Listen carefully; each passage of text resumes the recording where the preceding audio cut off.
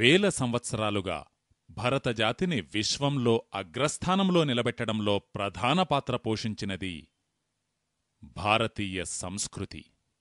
ఆ భారతీయ సంస్కృతి పునాదులను కదిలించడానికి భారతీయ సాంస్కృతిక వ్యవస్థను పూర్తిగా దెబ్బతీయడానికి ఆంగ్లేయులు మెకాలేనిక్కడికి పంపించారు. మెకాలే ఇక్కడికి వచ్చి దేశమంతా ఒక సర్వే చేయించాడు. ఆ సర్వే యొక్క నివేదిక ఏమని వచ్చింది? నివేదికలో ఏమి తెలియజేయబడి ఉందంటే భారతదేశం యొక్క సాంస్కృతిక వ్యవస్థ ఇక్కడి గురుకులాలపై ఆధారపడి ఉంది. మన దేశంలో అప్పట్లో నడుపబడుతూ ఉండే పాఠశాలలను గురుకులాలు అంటుండేవారు అది ఏ విధంగా జరిగేది? ఈ సర్వే పద్దెనిమిది వందల ముప్పై ఐదులో జరిగింది. ఆ సర్వే యొక్క రిపోర్టునే నేను మీకిప్పుడు తెలియజేస్తున్నాను. మెకాలే ఆదేశాలను పాటిస్తూ దాదాపు పదిహేను వందలు పదహారు వందల మంది ఆంగ్లేయ అధికారులు ఈ సర్వేలో పాల్గొన్నారు. భారతదేశం యొక్క సంస్కృతి ఏ పునాదులపై నిలబడి ఉంది? ఆ సర్వే ఫలితాల ప్రకారం ఇక్కడి సాంస్కృతిక వ్యవస్థ సమస్తం ఇక్కడి గురుకులాలపైన ఆశ్రమాలపైన ఇక్కడి విద్యాబోధన పద్ధతులపైన ఆధారపడి ఉందని తేలింది. నాటి గురుకులాల్లో ఏమేమి బోధిస్తూ ఉండేవారు? అప్పటి సర్వేలో ఒక చిన్న అంశాన్ని మాత్రమే నేను మీతో నేడు పంచుకుంటున్నాను. నాడు మన దేశం ఏ విధంగా ఉండి ఉండేదో మీరు గ్రహించగలగడానికి. పద్దెనిమిది వందల ముప్పై ఐదులో మద్రాసు ప్రెసిడెన్సీలో ఆంగ్లేయులు గావించిన సర్వే ఏమని తెలియజేస్తుందంటే మొత్తం ప్రెసిడెన్సీలో లక్షన్నర కళాశాలలున్నాయి. నేను ఇండియా ఆఫీస్ గ్రంథాలయం నుంచి ల్యాండ్ రెవెన్యూ రికార్డులను తీయించాను భూమి శిస్తు రికార్డులను. అందుకు కారణం పద్దెనిమిది వందల ముప్పై ఐదు నలభై ప్రాంతాల్లో అసలు మద్రాసు ప్రెసిడెన్సీలో ఉన్న గ్రామాల సంఖ్య ఎంతో తెలుసుకోవడానికి. నాడున్న మొత్తం గ్రామాల సంఖ్య లక్షా యాభై ఏడు వేలు. మరి కాలేజీల సంఖ్య? లక్షన్నర. అంటే సరాసరిన ప్రతి గ్రామానికి ఒక కాలేజీ ఉంది. ఆ కాలేజీలను గురించి ఆంగ్లేయులు ఏమని అభివర్ణిస్తున్నారు? తమ పరిభాషలో అదే పరిభాషలో నేను మీకు తెలియజేస్తున్నాను. Higher learning institutes. అంటే ఉన్నత విద్యా కేంద్రాలు. కేవలం ప్రాథమిక స్థాయికి చెందినవి కావవి. పాఠశాలల గురించైతే ప్రతి గ్రామంలోనూ రెండు మూడు ఉన్నాయని తెలియజేశారు. కానీ ఈ లక్షన్నర మాత్రం కళాశాలలు. మరి ఈ కళాశాలల్లో నేర్పించబడే విద్య ఏమిటి? ఆంగ్లేయులే తెలియజేస్తున్నారు వీటిలో మొత్తం పదిహేను వందల కళాశాలలలో సర్జరీని గురించి నేర్పించడం జరుగుతుంది అంటే శస్త్రచికిత్సను గురించి. అంటే నేటి మన ఎంఎస్ డిగ్రీతో సమానమైనటువంటి విద్యా విధానం. ఈ వివరాలన్నీ కేవలం మద్రాసు ప్రెసిడెన్సీకి సంబంధించినవి. దేశం మొత్తానికి సంబంధించి చెప్పడం లేదు. దేశంలో కేవలం మూడవ వంతుకు మాత్రమే చెందిన వివరాలివి. మరి ఆ శస్త్రచికిత్సకు సంబంధించిన విద్యను అభ్యసించి పట్టభద్రులై ఆ విద్యాలయాల నుంచి బయటికి వచ్చేవారెవరు? ఇది కూడా ఎంతో ఆసక్తికరమైన అంశం. నాడు భారతదేశంలో ఒక ప్రత్యేక వర్గానికి చెందిన ప్రజలుండేవారు. వారిని మంగలివారు అంటారు. వాస్తవంగా ఆ పదిహేను వందల కళాశాలలలోనూ విద్యను అభ్యసించేవారందరూ నాయీ బ్రాహ్మణులు అంటే మంగలివారు. మన దేశంలో ఒక తప్పుడు ప్రచారం విపరీతంగా జరిగింది ఆంగ్లేయుల ద్వారా. అది ఏమిటంటే శూద్రులను అసలు మన దేశంలో చదివించనే చదివించలేదని. బ్రాహ్మణులు శూద్రులను దారుణంగా అణచివేశారని వారు విద్యార్జన చెయ్యడానికని ఎటువంటి సదుపాయాలు కల్పించనేలేదని ఈ ఆంగ్లేయులు ప్రచారం చేశారు. అదేగనక వాస్తవమయ్యుంటే ఇలా పదిహేను వందల కళాశాలల నుంచి నాయీ బ్రాహ్మణులు శస్త్రచికిత్సకు సంబంధించిన విద్యలో పట్టభద్రులు కావడం ఎలా సాధ్యపడింది? ఆ పైన ఆయా కళాశాలలలో చదివే విద్యార్థులలో ఏ ఏ వర్ణం వారు ఎంతెంత శాతం మంది ఉన్నారు అన్న వివరాలను కూడా విభజించి తెలియజేశారు ఆంగ్లేయులు. ఆ కళాశాలల్లో చదివే విద్యార్థుల్లో డెబ్బై శాతం మంది శూద్రులు. తక్కిన ముప్పై శాతంలో బ్రాహ్మణులు క్షత్రియులు వైశ్యులు ఉండేవారు. మరియు అదే నివేదికలో తెలియజేయబడిన మరో విషయమేమిటంటే భారతదేశంలోని శూద్రుల చేతిలో చాలా గొప్ప సాంకేతిక పరిజ్ఞానముంది. ఇలా తెలియజేయబడింది. ఆ ఆంగ్లేయుల నివేదికలో ఇది నా నివేదిక కాదు. సాంకేతిక పరిజ్ఞానం శూద్రుల చేతిలోనే ఉంది. మరియు ఆ సాంకేతిక పరిజ్ఞానాన్ని ఇతరులకు అందించడం కూడా ఆ జాతివారే చేసే పని. అందుకే మద్రాసుగాని మద్రాసు పరిసర ప్రాంతాలకు గాని మీరు నేడు కూడా వెళ్ళి చూడండి. అక్కడ ఒక వర్గానికి చెందినవారున్నారు. వారిని పెరియార్ అంటారు. పెరియార్ వర్గానికి చెందినవారు మొత్తం దక్షిణ భారతదేశంలో అందరికంటే వెనుకబడిన వర్గానికి చెందినవారిగా పరిగణించబడుతూ ఉంటారు. కాని నాడు ఆంగ్లేయులు చేసిన సర్వే ప్రకారం పద్దెనిమిది వందల ముప్పై ఐదులో ఈ పెరియార్ జాతివారి స్థాయి ఏమిటి అన్నది పరిశీలిస్తే అప్పట్లో భవన నిర్మాణ విజ్ఞానాన్ని బోధించే కళాశాలలు వీటిలో రెండు వేల రెండు వందల నుంచి రెండు వేల మూడు వందలు ఉండేవి. మొత్తం మద్రాసు ప్రెసిడెన్సీలో. ఈ ఆర్కిటెక్ట్లకు సంబంధించిన ఈ శిల్పశాస్త్రము వాస్తుశాస్త్రములను బోధించే అధ్యాపకులందరూ ఈ పెరియార్ జాతికి చెందినవారుండేవారు. వారి వద్ద విద్యనభ్యసించే గొప్ప గొప్ప శిల్పులు వాస్తుశాస్త్ర నిపుణులు ఆర్కిటెక్ట్లు కూడా పెరియార్ వర్గానికి చెందినవారే ఉండేవారు.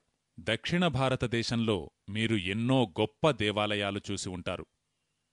కంచి కామాక్షిగాని మధుర మీనాక్షిగాని అటువంటి ఆలయాలు ఉత్తర భారతదేశంలో మనకు కనిపించవు.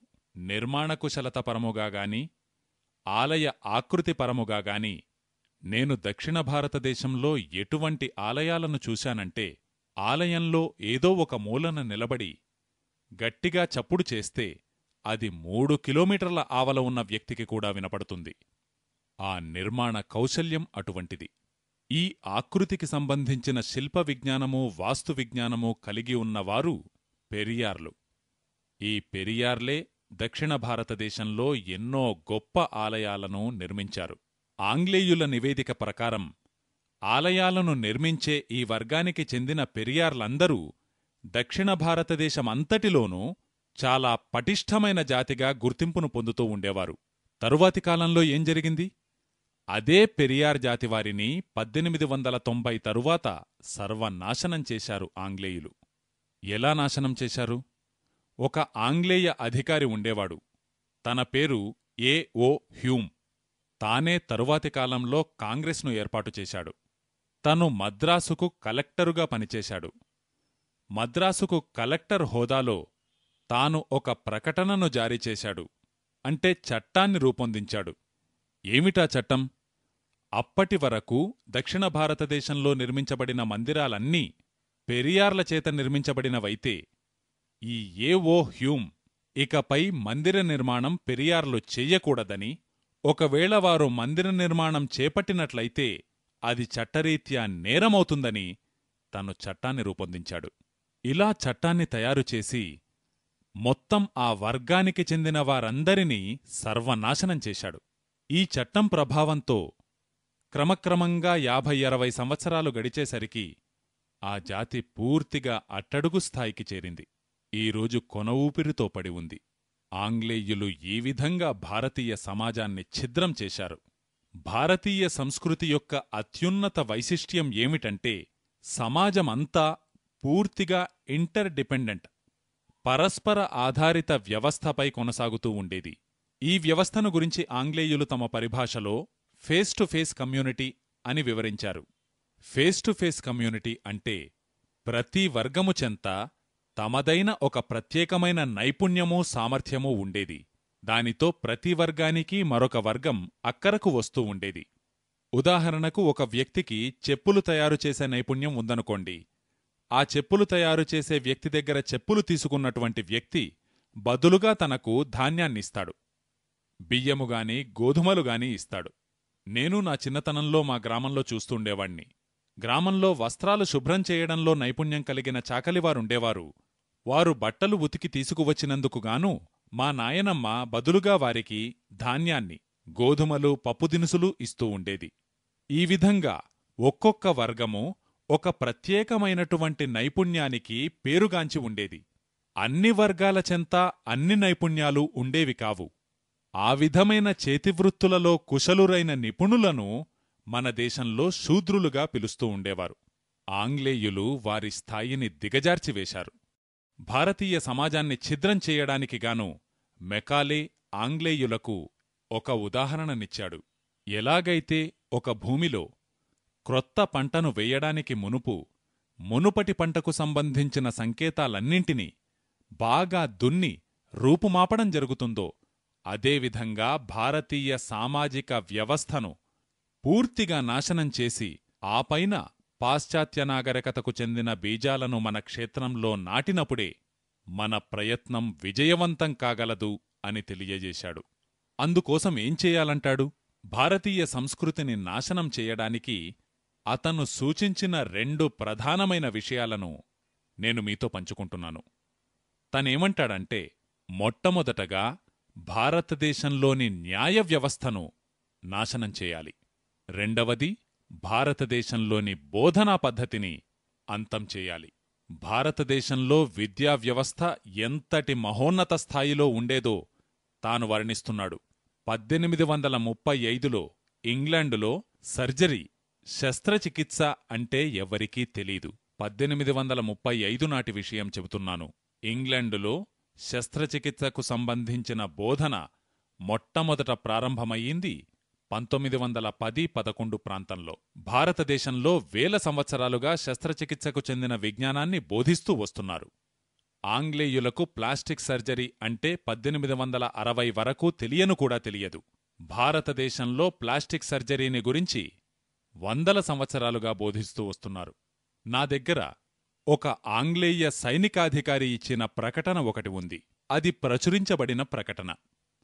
ఆయన పేరు కల్నల్ కూట్. భారతదేశంలో యుద్ధం చేయడానికి వచ్చిన సైనికాధికారితను. తను హైదర్ అలీతో యుద్ధం చేశాడు. హైదర్ అలీ ఒక గొప్ప రాజు. ఆంగ్లేయులు తనను ఎప్పుడూ గెలువలేకపోయారు. యుద్ధంలో కల్నల్ కూట్ ఓడిపోయాడు. హైదర్ అలీ తనను చంపకుండా తన ముక్కు కోసివేశాడు. హైదర్ అలీ తనతో చెప్పాడు నువ్వు పోయి నీ దేశంలో చూపించుకో నా ముక్కు కోశారు భారతీయులు అని. భారతదేశంలో పరువు పోగొట్టుకోవడానికి ముక్కు కోయబడింది అన్న జాతీయం ప్రాచుర్యంలో ఉంది. అందుకే హైదర్ అలీ ఆంగ్లేయుల పరువు తీసినందుకు సూచనగా తన ముక్కు కోశాడు.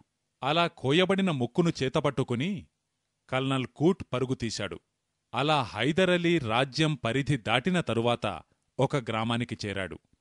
అక్కడ ఒక వ్యక్తి కనిపించాడు. తెగిన ముక్కుతో ఎక్కడికి పోతున్నావు? అని అడిగాడు. నాకు ప్రమాదవశాత్తు దెబ్బ తగిలి ముక్కు తెగిపోయింది అని అబద్ధం చెప్పాడు కల్నల్ కూట్. అప్పుడా వ్యక్తి మా గ్రామంలో ఒక వైద్యుడు ఉన్నాడని అతని దగ్గరికి తీసుకువెళతాను రమ్మని తనను ఆ వైద్యుడి దగ్గరికి తీసుకువెళ్ళాడు. కల్నల్ కూట్ తన జ్ఞాపకాలన్నింటినీ ఒక పుస్తకంలో భద్రపరిచాడు. అందులో సవివరంగా ఏమని వ్రాశాడంటే ఆ శస్త్రచికిత్స గంటన్నరపాటు జరిగింది. ఆ చికిత్సతో ఆ వైద్యుడు నా ముక్కును తిరిగి జోడించాడు. తాను ఇంగ్లాండ్ తిరిగి వెళ్ళిన తరువాత తన మిత్రుడైన ఒక వైద్యునితో నీకు తెలిసిన వైద్యం అంతంత మాత్రమేనని నువ్వు భారతదేశానికి వెళ్ళి నేర్చుకోమని చెప్పాడు. ఆ వైద్యుడు భారతదేశానికి వచ్చి ఆరేడేళ్ళపాటు ఇక్కడ ఉండి శస్త్రచికిత్సను గురించి నేర్చుకుని ఆ తరువాత ఇంగ్లాండ్ వెళ్ళాడు. ఆ విధంగా ఇంగ్లాండుకు శస్త్రచికిత్స పరిచయం చేయబడింది. మనకు చెప్పేది మాత్రం పూర్తిగా వ్యతిరేకంగా చెబుతారు. మనకు అందిన పరిజ్ఞానమంతా ఆంగ్లేయులు ప్రసాదించినదేనని అంతకుముందు మన వద్ద ఏమీ లేదని చెబుతూ ఉంటారు. వాస్తవం పూర్తిగా విరుద్ధం. ఆంగ్లేయులు ఇక్కడి నుంచి తీసుకువెళ్ళిన దానిపైననే తమ ముద్రను వేసి తిరిగి మనకు తెచ్చి చూసుకోండి మేమే తీసుకువచ్చాం మీ దగ్గరికి అని గొప్పలు చెప్పుకోవడం. ఇంతటి మహోన్నతమైన విద్యా వ్యవస్థ మన దేశంలో ప్రాచుర్యంలో ఉండింది అంటే దానికి వెనుక ఎంత లోతైన సామాజిక వ్యవస్థ ఉందో మనమర్థం చేసుకోవచ్చు. ఆంగ్లేయులు దానిని సమూలంగా నాశనం చేయడానికి ఉపక్రమించారు.